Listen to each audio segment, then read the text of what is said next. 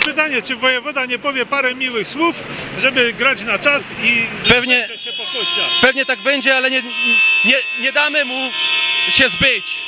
Dziękuję bardzo.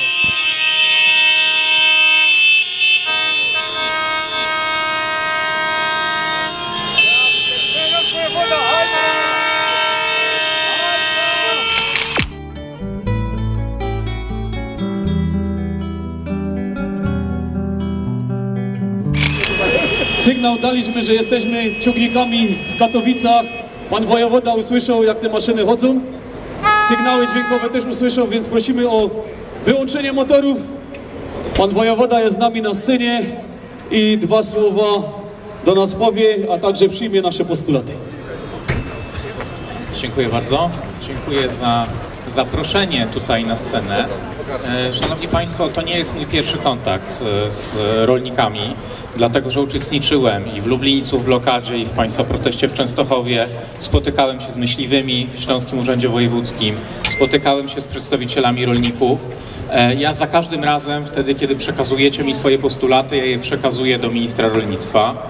E, Natomiast e, też e, pamiętajcie o tym, że jestem tylko pośrednikiem.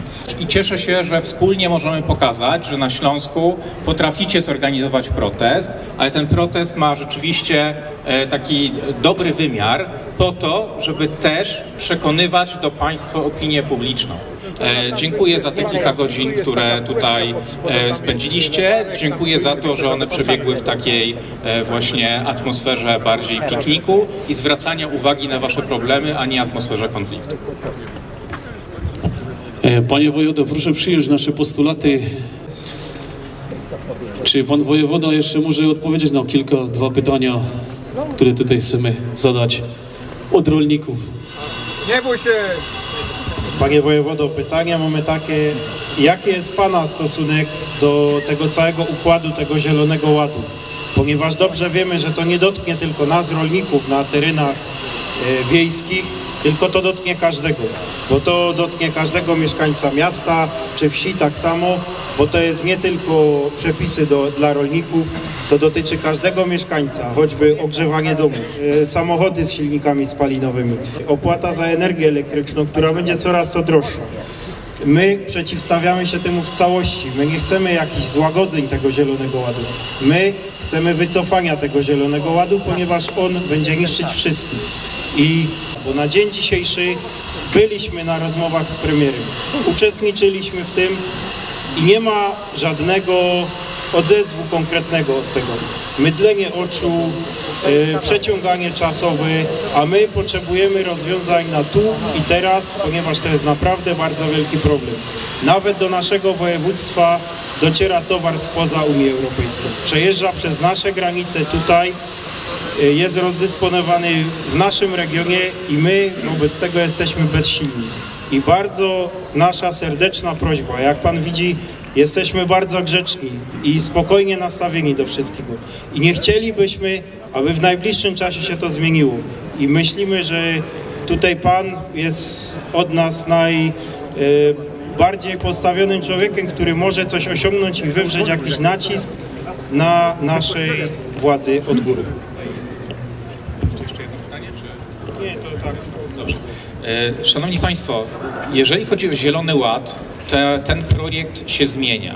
Premier Donald Tusk w piątek ogłosił, że Zielony Ład będzie e, podlegał zmianom. Te zmiany idą w tą stronę, o których Państwo mówiliście od samego początku Państwa protestu. Natomiast e, ja też nie mam złudzeń. Zielony Ład nie jest Państwa jedynym postulatem, bo Państwo wiecie o tym, że oprócz, nie wiem, kwestii związanych z ugorowaniem, z innymi sprawami, to jest bardzo poważna kwestia związana z opłacalnością produkcji rolnej. Ja spotykałem się z Państwem i rolnicy naprawdę w tym budynku, w Śląskim Urzędzie Wojewódzkim, pokazywali mi faktury za pszenicę. Pokazywali mi faktury z 2022 roku, kiedy te ceny były wysokie. Pokazywali mi faktury z 2023, kiedy te ceny były już bardzo niskie i z tego roku, kiedy te ceny już są naprawdę, naprawdę bardzo niskie. Więc ja wiem, że Zielony Ład jest czymś, co jest dla Was problemem, ale podejrzewam, że to jest problem bardziej na przyszłość, a Wy walczycie tutaj też o to, żeby mieć, mieć gdzie Waszą pszenicę, Wasze produkty rolne, gdzie sprzedać, tak? dlatego że jeżeli te produkty nie zostaną sprzedane, no to będzie problem. Nikt ich od Was nie odbierze, ale także my jako konsumenci nie będziemy mieli zapewnionych tych produktów w przyszłym, w, w przyszłym roku. Więc myślę, że Zielony Ład, te decyzje, które do tej pory za- zapadają wokół Zielonego Ładu, że one idą w tą stronę, o, której, o, o którą wnioskujecie. I tutaj myślę, że możecie być spokojni. E, Ten Państwa postulat e, no jest e, realizowany i jest e, załatwiany. Natomiast ja też we wszystkich moich rozmowach z przedstawicielami ministra, Ministerstwa Rolnictwa będę zwracał uwagę na Państwa sytuację, na kwestię związaną z opłacalnością produkcji. Bo my wszyscy chcemy. Ja chcę pracować w tym urzędzie, a Państwo chcecie pracować u siebie w swoich gospodarstwach. Wiem o tym, że nie chcecie tu przyjeżdżać i nie chciałbym, żebyśmy musieli się tutaj spotykać, nie wiem, no, po zbiorach za kilka miesięcy, więc e, liczę na to, że Ministerstwo Rolnictwa e, rzeczywiście uda, w mi- Ministerstwu Rolnictwa uda się wypracować takie rozwiązania, które poprawią opłacalność państwa produkcji rolnej, bo to jest chyba dziś najważniejszy problem. Tak, polał wodę do Siema jak skurczysy. Jak to oceniacie, tak gorąco? Na gorąco? Oszustwo, oszustwo i lanie wody. Lanie I, wody, tak? I przeciąganie w czasie zbywania ludzi. Cała ich technika. Spychologia. Unia, to już jest tak zainfekowane, że ciężko będzie to postaci na przykład Unii żeby się zmienić. Grupy. Ja rozumiem, zdaję sobie sprawę z tego, ale, ale Za dużo konsekwencji byśmy mieli po, po wyjściu, przy, przy wychodzeniu z Unii mamy już za dużo e, trzeba podpisanych Zielony Ład kontraktów. cały wykasować, A to to zero. Zielony Ład to jak najbardziej. Trzeba powrócić do Unii z, tych, z tego założenia początkowego, tak jak ona, bo, to mia, bo to ma sens, tylko że przez, została przejęta przez e, rządy lewicowe i teraz tak naprawdę robią się, e, że tak powiem, takie fikołki, że aż, się, że aż to jest wbrew logice. To, to, to. no, zdaję sobie sprawę, to są, to są irracjonalne w ogóle jakieś postulaty od nich, nie? W sprawie tego Zielonego Ładu. No, sytuacja jest naprawdę kuriozalna moim zdaniem. Jak można wymyślać tego typu rzeczy? Ja już, ja już czytałem wczoraj jakieś artykuły dotyczące papieru toaletowego, to są kompletne absurdy. Ogóle e, to przyjąć? Nie? Dobrze, w porządku. Szanowni Państwo, e, ja zostaję tutaj z Wami. E, Chętnie też odwiedzę Państwa stoiska, e, więc jestem do Państwa dyspozycji. Jeżeli chcecie mi na coś zwrócić uwagę, jak są dożynki, to pierwsi. Proszę bardzo, będę z Wami, możemy porozmawiać o tym, jak wygląda sytuacja, jeżeli chodzi o poszczególne e, Państwa działy produkcji. Ja też spotykając się z Państwem, naprawdę sporo się dowiaduję na temat tego, że problemy rolników... Co pan robi w tej sprawie, a nie co pan, o czym pan rozmawia? Jakie są pana postulaty? Ja przekażę, ale ja nie mam postulatów. Ja mam postulaty, ja mam tylko państwa postulaty. Ja nie mam swoich postulatów w tym procesie. Ja mam tylko te postulaty, które państwo mi przekazaliście. Ja przekażę te postulaty ministrowi rolnictwa, bo to jest moje zadanie dzisiaj. Przekażę je dzisiaj. Wrócę do urzędu, przygotuję stosowne pismo, prześlę dzisiaj te postulaty do ministra rolnictwa. To jest zadymiarz, to nie jest rolnik. Który? Ten pan to nie był rolnik na pewno. Ale dlaczego pan tak myśli? Myślę, że nie jest podstawione to. No ja rozumiem, ale to po wyglądzie pan poznał... Tak, Panie wojewodo, jeżeli pan rolnicza teraz do poznajemy. ministerstwa, my jesteśmy znowu któryś z nas rolników tu krzyczał takie rzeczy. Co pan jakie? powiedział, czy No, że po- nawołuje do- to jest nawoływanie do tego, Prosimy żeby- o potwierdzenie tego. żeby narobić swoją grupę, No wygląda na oburzonego takiego.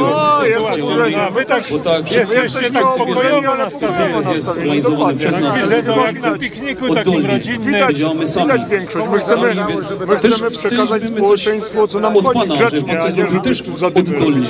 E, I jestem przekonany, że te służby robią to, co w tym momencie mogą, żeby kontrolować transporty.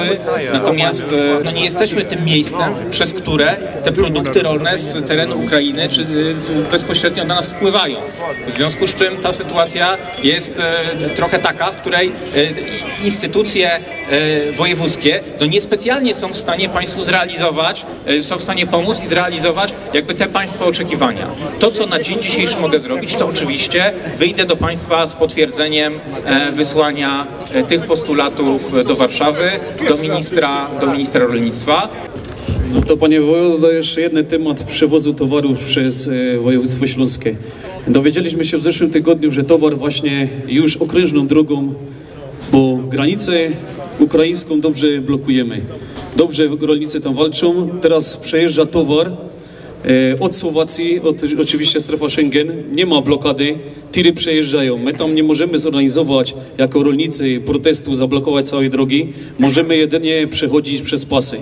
E, Takie, taki protest dzisiaj się odbywa w Chyżnym, bo wiemy, że właśnie takie przez nasze województwo państwo znowu pozwoliło e, przez przejścia graniczne, które była ograniczona, ograniczona ładowność przewozu, mogą teraz wszystkie ciężkie transporty przejeżdżać z powodu tego, że my rolnicy blokujemy przejście na Ukrainę. Więc Polska znowu się zrobiła dobrą matką i dała pozwolenie na transport do województwa śląskiego przez Słowację bez jakichkolwiek możliwości przede wszystkim jakichkolwiek przebadań towarów, jak ma przebadać towar, jak ten towar jedzie płynnie. Ja mogę e, wezwać Inspekcję Transportu Drogowego do wzmożenia kontroli w, tej, w tym obszarze nadgranicznym i to jest działanie, które oczywiście mogę, mogę tutaj e, z Państwem uzgodnić i, i zrobić. Ale od jutra! Tak jak Dziękuję bardzo. kontrolować. Panie wojewodo, to też potwierdzenie jakieś potrzebujemy, że takie coś będą, takie działania e, tam w rejonie e, przez Inspekcję Transportu, bo dowiadujemy się, dzwonią nasi koledzy spod granicy, dowiadują się o takich transportach. My też tam nie jeździmy, też do końca e, nie możemy tam być dziennie. Odwiedzamy granicę ukraińską, często pomagamy kolegom, jeżdżą delegacje ze Śląska, także się łączymy w tych protestach. No ale nie możemy dopuścić do tego, że my pojedziemy na Ukrainę, tam chłopaki dzielnie walczą, a my tutaj z drugiej strony dostajemy towar, nie? Więc po co ta walka? Dobra, jak oceniacie to, co powiedział wojewoda? No, to, to co zawsze. Na razie nam mydlą oczy, nie ma żadnych konkretów. Chcemy wiedzieć dokładne daty. Kiedy wprowadzony będzie e, zniesiony Zielony Ład. Nas interesują daty.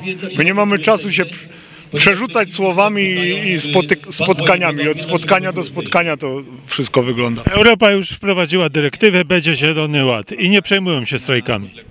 Nie, to jest do obalenia. Widzimy, że cała Europa to, to chyba to pójdzie w tym kierunku, że będzie to musieć być obalone, bo nie zgadzamy się na to. Możemy się zgodzić na to, żeby porozmawiać i wrócić do, do starej Unii, do zasad w starej Unii. I, I jest to możliwe, tylko trzeba nas słuchać oddolnie, nie słuchać, nie słuchać urzędników, tylko słuchać ż- ludzi oddolnie. Jak my mamy ufać temu rządowi? Szef fitnessu jest wiceminister tego i to my chcemy, my chcemy, my chcemy tylko normalności. Panie wojewodo, my mamy 100 lat związku, 100 lat gospodarujemy. My mamy 1000 lat, jak to mówią, łowiectwo. Pan wojewoda chyba ma problemy tutaj z, z dzikami na terenie województwa. Myślę, że ma. I chodzi o to, że my chcemy tylko normalności, my nie chcemy nic innego. Tak jak nasi dziadowie e, polowali, tak jak gospodarkę łowiecką, gospodarkę łowiecką uprawiali, leśną, rolniczą. My tylko chcemy normalności, my nic więcej nie chcemy. Pan wojewoda myśli, że my tu już przyszli z własnej woli? A u nas jest chora po prostu jakaś ideologia wchodzi, gdzie my nie możemy nic. I myśmy wierzyli, że przyjdzie rząd fachowców. A tego rządu fachowców my nie widzimy na każdym kroku. Brawo!